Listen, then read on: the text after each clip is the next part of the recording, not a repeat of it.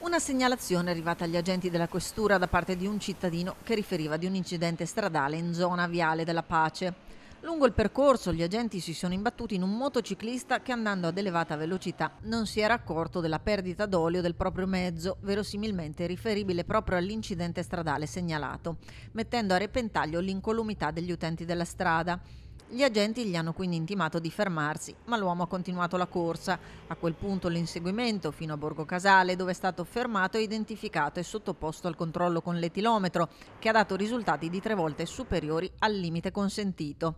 All'uomo è stata notificata la segnalazione alla prefettura per il ritiro della patente, è stato denunciato per guida in stato di ebbrezza e sanzionato per il mancato uso del casco e per non essersi fermato all'ART impartitogli dagli agenti.